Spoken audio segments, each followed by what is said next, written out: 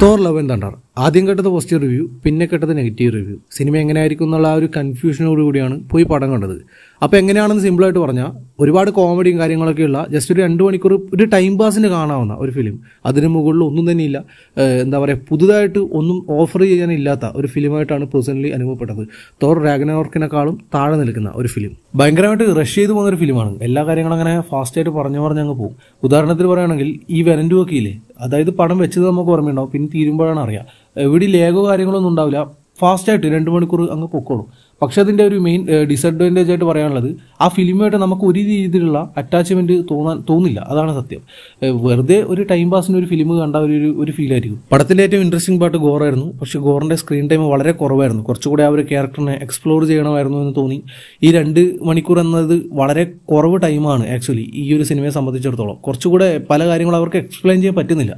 ഒരു രണ്ടര രണ്ടര മണിക്കൂർ അല്ലെങ്കിൽ ഒരു രണ്ടേ മുക്കാൽ മണിക്കൂറൊക്കെ വേണമായിരുന്നു. ആ ഒരു ടൈം ഉണ്ടെങ്കിൽ മാത്രമേ നമുക്ക് അത് ഫീൽ ചെയ്യാൻ പറ്റൂ. ഇപ്പോൾ സോണിയുടെ പടമൊക്കെ കാണുന്ന ഒരു അവസ്ഥയാണ് പല മാർവൽ ഫിലിംസും നമുക്ക് ഇത് ഇതേ കാര്യം തന്നെയാണ് ഡോക്ടർ സ്റ്റേജിലും കാണാൻ പറ്റിയിട്ടുണ്ടായിരുന്നത്. പല കാര്യങ്ങളും റഷ് ചെയ്ത് റഷ് ചെയ്ത് പോകുന്ന സമയത്ത് ഒരു ഒരു ഫീൽ കിട്ടുന്നില്ല ഫിലിം കാണുമ്പോൾ. പടത്തിൽ കോമഡിയൊക്കെ കിടുമായിരുന്നു പിന്നെ ജെയിനും കൊള്ളാം. തുറന്ന ക്യാരക്ടറിനെ വെറും കോമഡിക്ക് വേണ്ടി മാത്രം യൂസ് ചെയ്യുന്ന പോലെയാണ് ഇപ്പോൾ പേഴ്സണലി തോന്നുന്നത്.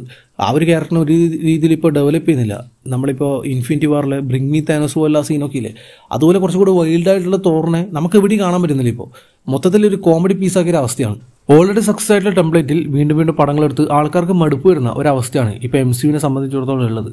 അതിൽ നിന്ന് പുറത്തോട്ട് വരേണ്ട സമയം സത്യം പറഞ്ഞാൽ അതിക്രമിച്ചു. ഈ പി ജി തേർട്ടി എന്നുള്ള ലേബലിൽ തന്നെ പുറത്തോട്ട് വരണം എന്നാണ് ഞാൻ പറയുന്നത്. ഈ പതിമൂന്ന് പതിനാലും വയസ്സുള്ള പിള്ളേർ വരെ ഇപ്പോൾ ബോയ്സും ഇൻവിൻസിബിളും പോലുള്ള സീരീസൊക്കെ കണ്ട് മൊത്തത്തിൽ ചോരക്കളിയൊക്കെ കാണുന്ന പിള്ളേരാണ്. അപ്പോൾ അവരെ മുന്നിലാണ് ഇതുപോലെ സാധനം കണ്ട മക്കളെന്ന് പറഞ്ഞ് കൊണ്ടുവരുന്നത്. അപ്പോൾ എന്തെങ്കിലുമൊക്കെ ആയിട്ട് പുതുതായിട്ട് പരീക്ഷിക്കേണ്ട സമയം അതിക്രമിച്ചു. അപ്പോൾ കുറച്ചുകൂടെ ഡാർക്കറായ ഒരു തോർ ഫിലിം എന്തെങ്കിലുമൊക്കെ വരും എന്ന് പ്രതീക്ഷിക്കാം. അപ്പോൾ ഇത്രയൊക്കെയാണ് തോർ ലവ് ആൻഡ് തണ്ടറിനെ കുറിച്ച് പറയാനുള്ളത്. സിനിമ കണ്ടവർ ഉണ്ടെങ്കിൽ തീർച്ചയായും താഴെ കമന്റ് ചെയ്യും. ഇനി ഇരിക്കുന്നു വീഡിയോ ഇഷ്ടപ്പെടുകയാണെങ്കിൽ ലൈക്ക് ചെയ്യുക ഷെയർ ചെയ്യുക ചാനൽ ഒന്ന് സബ്സ്ക്രൈബ് ചെയ്യുക. Can you hear, can you hear, can you hear my voice?